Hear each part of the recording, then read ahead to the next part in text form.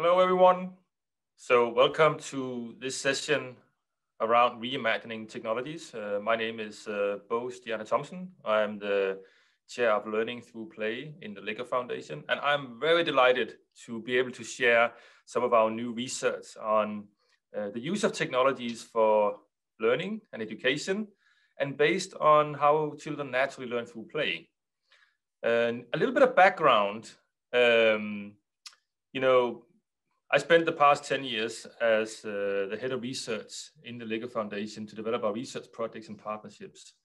But uh, before I go into talking about technologies, I reflected, reflect a little bit on, on, on childhood and my own childhood, because I grew up in a forest, very remote out in the forest of Denmark, uh, you know, remote from cities, from neighbors and anything like that. And what I remember clearly was um, when I was young in the 80s, that we had a computer suddenly. We suddenly connected and wired up out there remotely with a computer because my dad was in forestry and he had to connect to the national forest. And that moment of not just getting the computer because I had to figure out how it worked, there was no training in it, but also that it connected to a community. Basically, suddenly you access remote opportunities of other people's interests and speaking and interacting and using the computer also not only to you know, test and trying out and do do things and and do your your business as my dad was going to do, but be basically using it as a community was quite compelling. I went on to study design, architect, engineering. I've been practicing architecture, design concert halls and universities and installations for, for a decade around different parts of the world. I went into uh, study technology and interaction and learning. Uh, at MIT Media Lab in, in US. Uh, I did robotics for several years also. And then I came back to, to Lego to really study how are the interactions between the physical material and the way we use technologies to play and to learn. So the main message of this is to say, you know, I really hope we can reimagine learning. So technologies is not these kind of tech or no tech, but to find ways that we can integrate technologies in things that are meaningful ways, ways that are meaningful for, for children's learning, the curiosity and use in education for knowledge and broader skills. And at this moment, I actually brought a tree from my own childhood garden into our own house. So my own children can climb in the tree uh, while they also use uh, the vast amount of technologies they have access to. So I'll just share my screen here. So I'll, I'll summarize a few things about the foundation and then I'll dive into two new studies which we have conducted over the past uh, couple of years. One of them is the first launch of that today, uh, and you can now access it on the website also, and I'll share the links later. But the message is really about how we can re reimagine learning by using technologies in particular ways. So the LEGO Foundation at a glance is it's a Danish corporate foundation. We have roughly 120 employees across 25 countries or from 24 countries. We are headquartered in Denmark in Billund, the you know the, the founding place of the LEGO uh, Corporation. But we also have offices in US, Mexico, South Africa, and Ukraine. We have uh, 20 plus partnerships, both at the multilateral level, like uh, you know UNICEF and World Bank, but also on a local national level. We have projects in more than 25 countries around the world. And the key thing for us is to think about systems change. How do we change educational systems, health systems to be more attuned to children's learning through enjoyment, through active engagement, through play? These are some of the places we operate. Uh, we have partnerships with governments, educational systems. We also work with local teacher training institutions and, and, and parent campaigns. One of the crucial thing about our work is to build on an extensive network of, our, of research partners.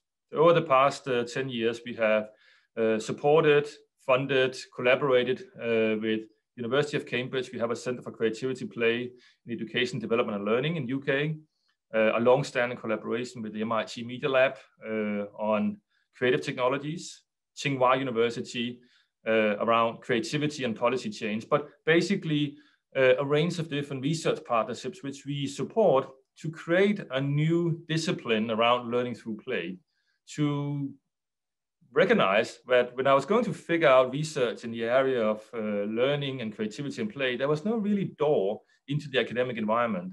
So I had to create one that goes across psychology, education, technology, leadership and so forth. So these are united with that shared ambition of making the best support for children as they grow up, but also collaborating with our initiatives to monitor and evaluate what we do. The crucial thing about when we talk about technologies and creativity and play is that we have to redefine play and reimagine learning. We have often put ourselves in a box and a definition of play, which is naturally good. Play is fantastic. It's for well-being. It's for this immersiveness into things where you are motivated and enjoy things.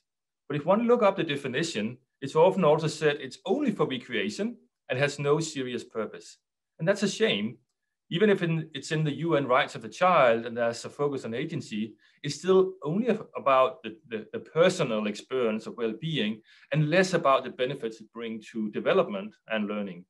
On the other hand, we often think about learning as children or students sitting isolated at desks to be you know, competitive and standardized tests, to be able to get on a track of education and grades into higher education uh, and we and, and ongoing into life. And learning is not really a broader uh, discipline of different skills. So what we ask for is to also reimagine learning to think more about the broader range of skills like collaboration and creativity and emotional regulation and physical development that are inherently embedded in our understanding of knowledge and um, knowledge acquisition and content understanding. So we asked to redefine play and reimagine learning.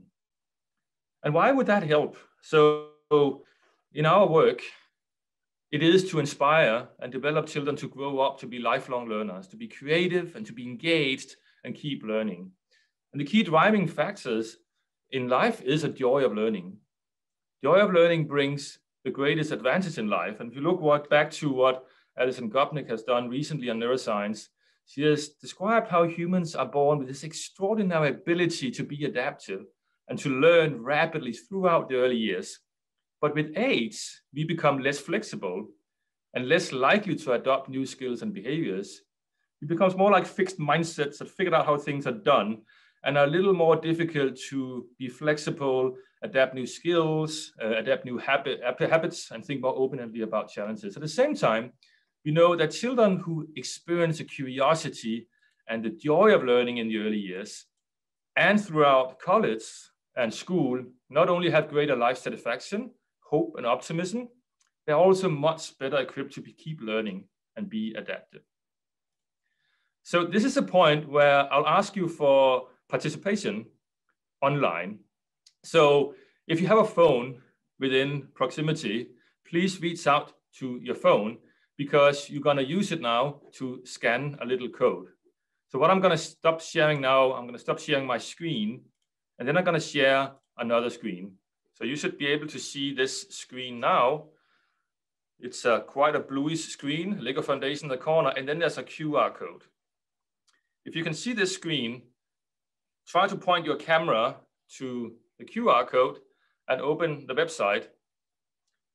And then I invite you to browse, click through the first couple of screens, and then I ask you to build a doc. So use a little functionality on your phone that came up in the browser to build a doc. You can build any kind of doc. It's up to you. And you can choose between doing it in three dimensions or in two dimensions. Uh, you can do any expression of it and then ask to share it because then at some point it will be appearing in live. Oh, that's the first one. So please see if you can point your screen to the QR code with your phone. It will open a browser window where you can build a doc. I see a new one here. That's a nice doc here. Nice, happy doc. Hmm. So I'll give you just roughly one minute to come up with a range of different ideas for docs.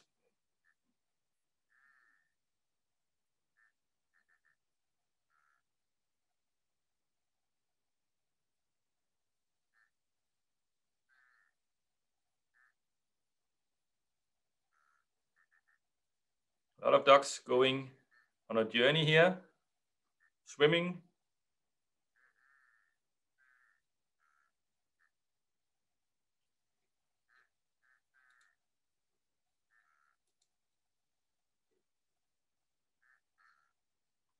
So I'll give you, hopefully you figure it out now, give you 30 seconds more to come up with ideas for ducks. Oh, there's one nice one here, jumping on one feet, one foot, sorry, one foot. Oh, there's one with a hole in the middle. There's a swimming duck.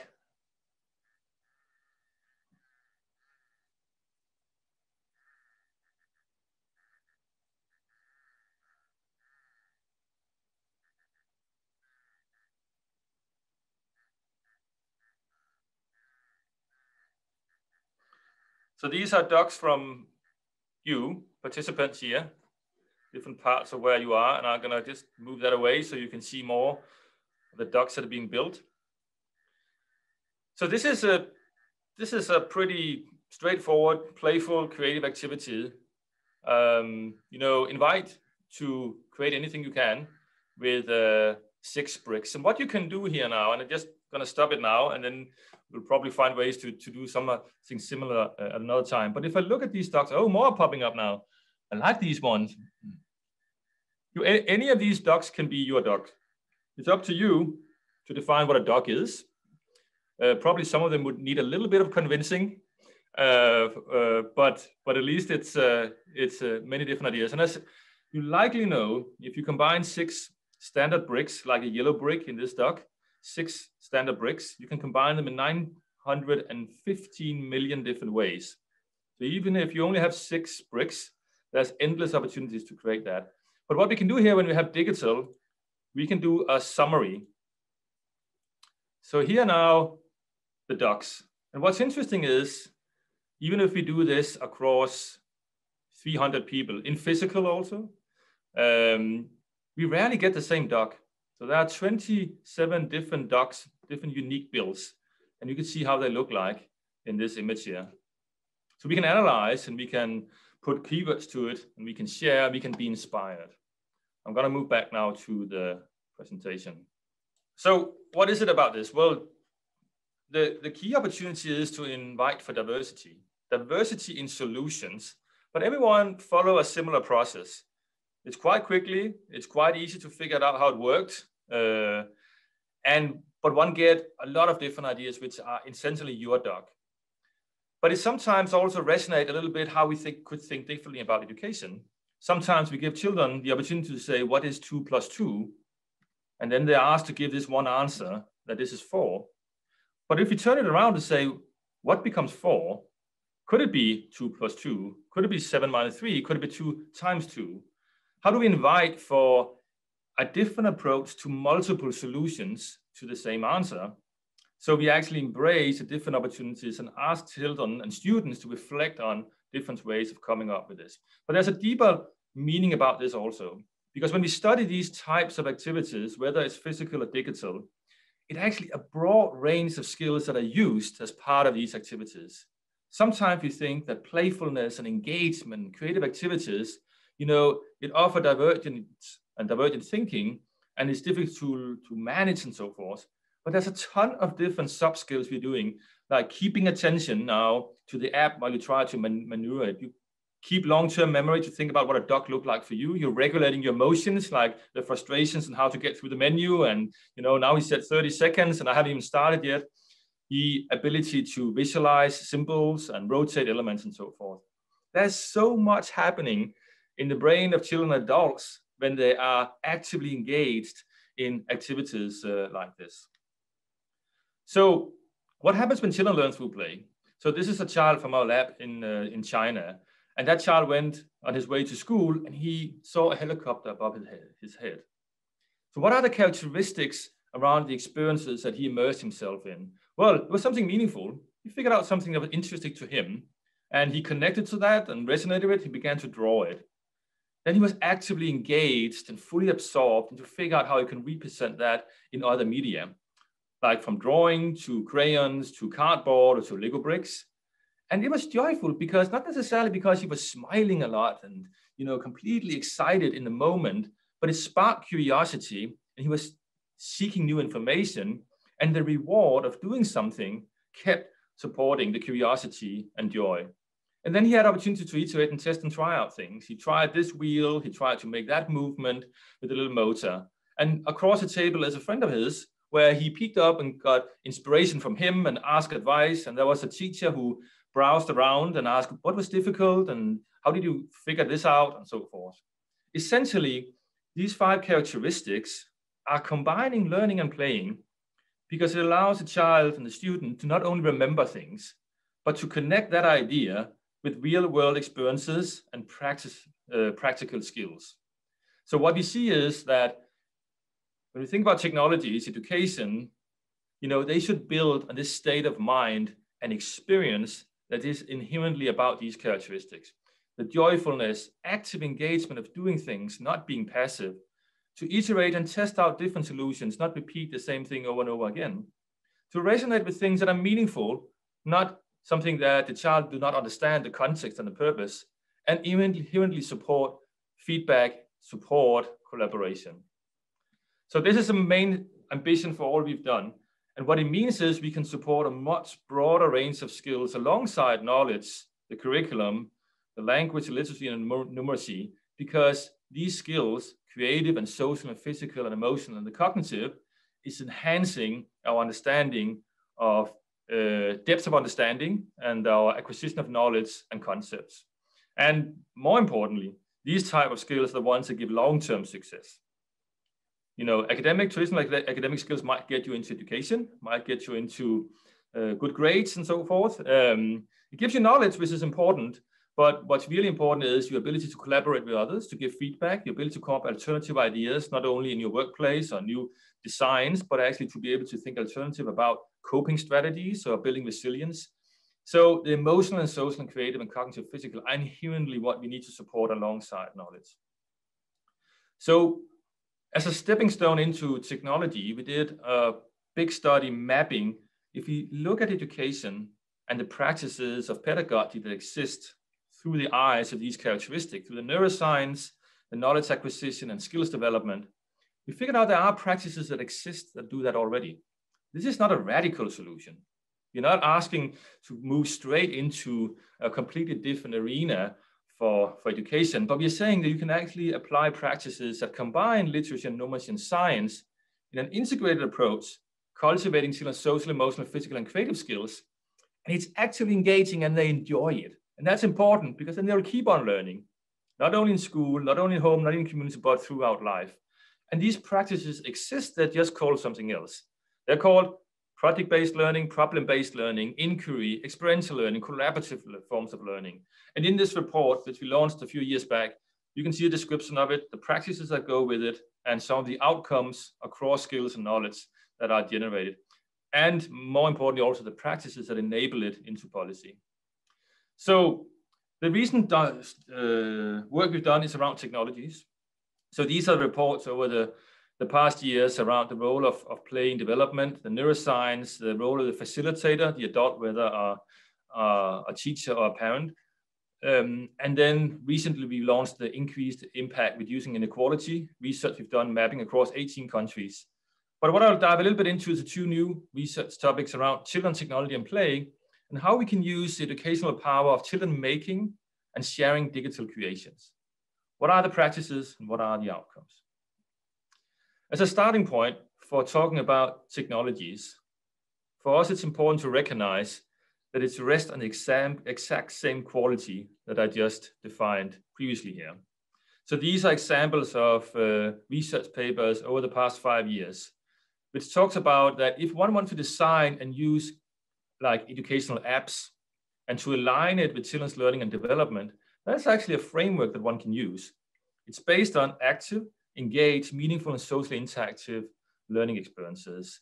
And they are essentially making technologies educational because they support not only the understanding and the knowledge and the concepts, but a broader range of skills.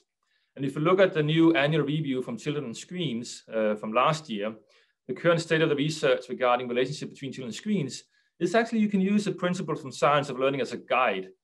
So we can move more into a digital revolution where we don't think about technology as a substitute for social or physical or holistic development, but integrated perspective.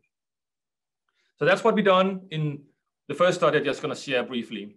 So we looked in depth into what are the practices of children using technologies parents and teachers across South Africa and UK. We had more than 3,500 in a survey. We had focus groups in both uh, UK and South Africa, and it's important to not generalize here. UK was a representative group across UK. South Africa was mostly Cape Town area outside Cape Town, but across socioeconomic differences. We had telephone interviews, we had follow-up with teachers and community members. We had GoPro cameras. We gave children cameras to map their own uh, life. What's clear is the way children use technology nowadays is completely interconnected with their everyday life.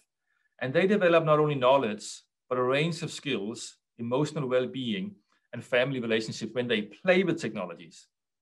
So the characteristics are important to keep in mind. Technology does not make it itself, but we think about the characteristics and the broader skills of uh, broader skills. This is completely integrated. You know, it is connected play. If you look at upper left, of course, we have technologies embedded in products. And the upper diagram, we have technology that can control particular kind of uh, devices. We also have technologies which can be used to augment things in real life. We can have technologies which are control virtual reality, um, or we can have technologies to connect uh, socially. And what we see from the practices here, that children are using these technologies in extremely creative ways, whether it's a GoPro camera to record, reflect, and create their own movies, whether it's taking apart a, a computer, uh, or whether it's taking apart a phone or rebuilding things in the environment. My favorite story is about the boy at lower left. So when I was in Cape Town and visiting the community out there, um, he came to me to show a ball he made. And he made the ball out of a different papers he collected and wrapped it around with tape. To some degree, that was a technology for him. He created a new type of tool for him to play and learn with. So what we see here is that knowledge and skills are developed through play with these digital technologies, whether it's the social, the physical, the emotional, and the creative skills, whether it's a language, a literacy, a mathematics and science, geography, history, and art, or also the technology skills, like the technological literacy, operating devices, navigating apps, finding information, and keeping safe, uh, creating digital content. So these are interlinked in these practices. But what are the implications? What we saw as implications was first and foremost that children's play with digital technologies need help to become more social. So there needs to be much more collaboration and it'll need to allow children to test ideas, to try out new things and to create content. And children need to be able to take initiative in the digital play, not just browsing through videos and content and following a fixed path of a game or app, but setting their own goals and personalizing their experiences. And thirdly, they need a varied diet of play with technologies. You know, there's not one technology, not one form of play that make all the outcomes and can be balanced in the life of a child, but having more and different types of play where they can be engaged, can be enjoying the experiences and experiment mix with others.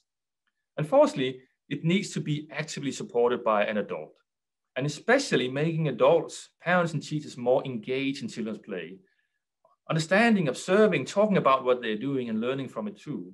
And finally, that games and apps need to reflect much more diversity in culture, in race, in ethnicity, in language and language and gender. Because there's often, particularly around the media industry, a focus on designing apps and technologies with one particular group of children, one particular culture, and needs to embrace a greater diversity in the expression and use of these technologies.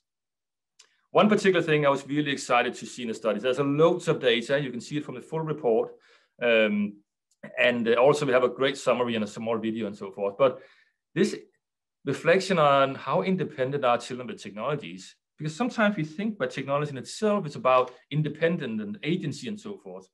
But when we ask parents and children, if you look at this bar chart here, the, the longest bar chart across South Africa, UK, an expression that my children takes initiative on his, on, uh, on her own or his own, or they follow what happens. But what's less likely is that the th children are doing things they couldn't do before, or they personalize their own experience or set their own goals. So it might be agency, but is the interest in a particular kind of agency which allows children to set their own goals, to personalize and create content and do things, skills, knowledge I couldn't do before. So a lot of ways of using technology end up being in just doing initiative and just uh, browsing around. So there are key recommendations from the first study. There's a booklet for each of the recommendations. But in summary, for policymakers, we know that digital play is largely ignored in policy development. And we need to consider how it's embedded into the curriculum and conceptualized in it. And also that quality standards, standards are emphasizing digital well-being. That's a big piece of a new research effort uh, across the LEGO entities, a research network we're developing on digital well-being. For teachers, I'll come a little bit more back to that in more in-depth, but recognize there are numerous ways to embed play and technology in the classroom. There's not only one way. And one can particularly do that with a broader spectrum of approaches and use of technology when we think not only about instruction, giving videos inspiration, but more guidance and projects or problem-based learning using technologies. Also sometimes more free open-ended play, but technology can be used across these different practices practices. And the most effective way of pedagogy is to use all of them in different degree for different children. Parents should be encouraged, uh, encouraging children to play with technology and create content and to talk to children about their play with technology. And the children's media industry needs to develop a set of standards for technology in play. And I point to some of the standards, which is beginning to emerge and is used across um, physical and digital technologies. But aligning around these standards would greatly help the quality we bring to children and students and adults, and in particular representing a greater diversity of contemporary childhood and engage children more in the design of these technologies. So we have a better understanding not only whether these are good or bad, but what will they use them for and what do they enjoy when learning with these technologies. The second last study here is the one that I'm going to share, uh, we're going to share today, which is taking the recommendations just one step back to the re recommendations shared here. Basically, if there are opportunities here for children to not only be more social, but to test ideas and try out new things, to create content, and to personalize experiences, how will that look like from new technologies? So we did a research across the characteristics, the learning outcomes, the particular principles behind these technologies, and figured out that technologies like Scratch, which is an uh, creative coding platform, which can also be used to combine to physical materials, Minecraft and Minecraft education, and Lego Mindstorms are particular example of technologies which are used right now in education across physical and digital and have particular qualities which we can learn from when we're going to use a range of different technologies and platforms. First and foremost, there are principles that are defining the use of these technologies. First and foremost, it's based on children's agency. The ability to make choices and act for themselves is a key principle of learning through digital play. But that is not in isolation. That happens with structure and guidance. Guidance from other people who inspire, set context, give feedback with the technology itself. But it does set a context of creation. That children are creating artifacts, they're creating content that is a self-expression of the self, their own context, their own ideas. And it's inherently about play in the context of curiosity, of joy, experimentation, and creativity. So these principles are crucial when you think about it as a, an educator to inspire the agency, give guidance, support creation of a diversity of different ways things content come into being and the playfulness. And what are the benefits? There are six key benefits. The first ones are pretty obvious.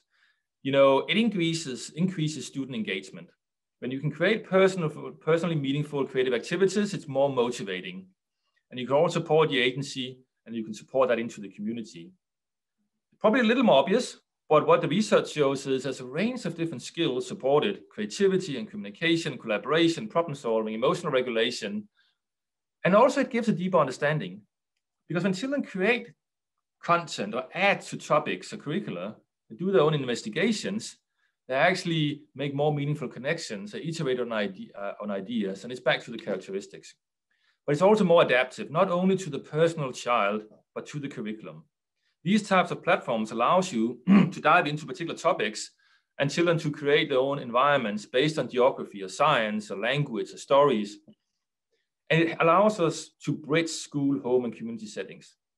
So particularly during here COVID-19, this understanding of how we can engage parents and teachers in joint understanding of learning, is crucial here that we have platforms and we have technologies that can make that link between the settings, where they can build their own identities and build on the strengths of the peers family, families and education culture. And then we can use more authentic assessments. So there are standardized assessments, obviously there for a reason, but there are much, much better assessments that support learning. And when children make creations, the process and the product of the efforts can be used as authentic form of assessments, whether it's for knowledge, for skills, for attitudes and learning. So how does it look like? Well, it looks like it empowers learners when they explore particular topics with these types of platform, such as nature or sustainability, or they go into predefined, pre-built worlds to guide the exploration in particular topics but also the process in these platforms about reading comments, chatting in real time, getting feedback from others, including feedback from teachers. And they support a wide range of projects from stories to games to animations to meaningful more full projects from everyday life. And you can show progress, portfolio, and you can engage in small group or whole class discussions. And you can allow for customization in design and alternative scenarios. And you can also make the connection to physical simulation and robots back and forth.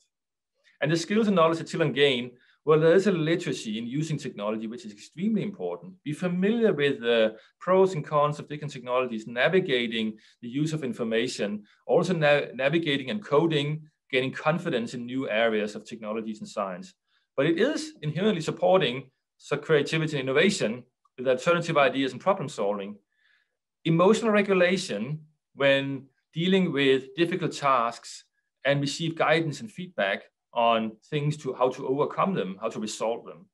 And collaboration, when you are allowed to share and work on the same project. And also into co more computational thinking when you think about exploring and solving problems in real life with technology.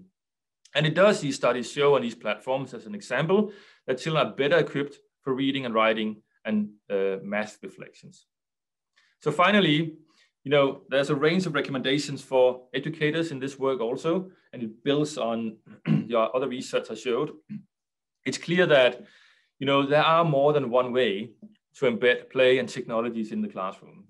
In particular, if one are able to advocate for a more holistic or whole learner perspective, combining knowledge and skills.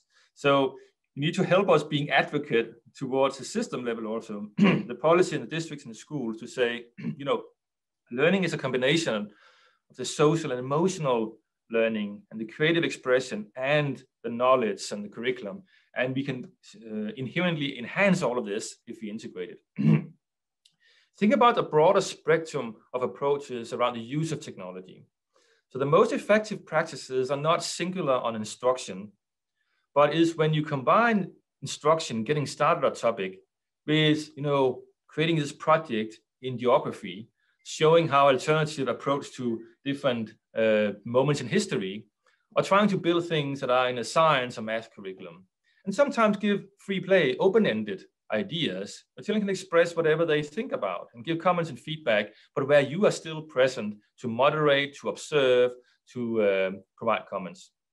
And then use actively engaging educational approaches like project-based learning, collaborative learning, inquiry-based learning operate quite well with these types of technologies and can be structured in that way. And think about the characteristics I started to look at. Inherently, you know, it's about enjoying the experience, also when it's difficult. This is not about fun for the sake of fun or for create recreation.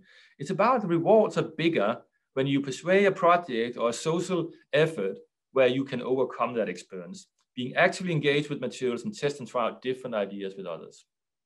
And then we ask you to be inspired by platforms like this that also exists in other formats, which we also articulate in here. But these are some of the platforms that have strong evidence and good practices where you can see both skills and subject knowledge.